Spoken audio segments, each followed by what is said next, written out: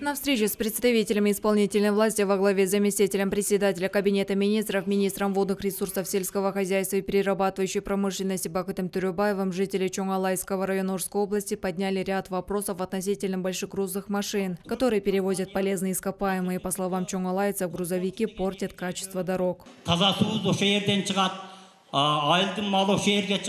Также местные жители отметили, что для развития туризма в регионе необходимо провести ремонт трассы Уч-Коргон-Дарот. По их словам, это поможет развить торговые отношения между Баткенской и Орской областями.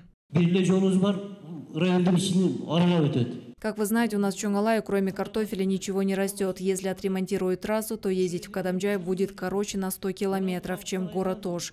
Также смогли бы продавать наш картофель в Узбекистан. Сейчас мы проводим анализ, выявляем, в какой категории относится эта трасса. Мы планируем построить дорогу так, чтобы жителям было удобно передвигаться, поэтому нам на сегодняшний день нужно немного времени. Также один из актуальных вопросов среди местных жителей – выделение земельных участков для ведения личного подсобного хозяйства. У меня четверо детей, ни одному из них не выделили земельный участок. Обращались мы в Айлок Мөту, нам там сказали, что этот вопрос еще не решен.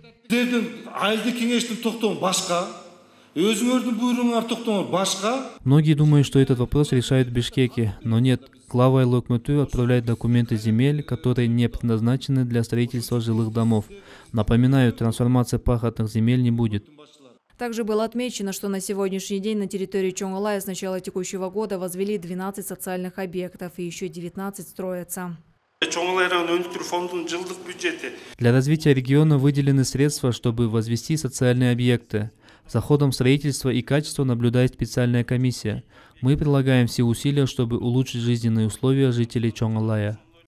На встрече на вопросы жителей представители министерства учреждений ответили на месте, а некоторые будут уточнены. Аналогичная встреча с жителями Каракульджинского и Узгенского района состоится 6 августа. Айзрек Акматов, Меркуль Букошева, Лото 24, Орская область.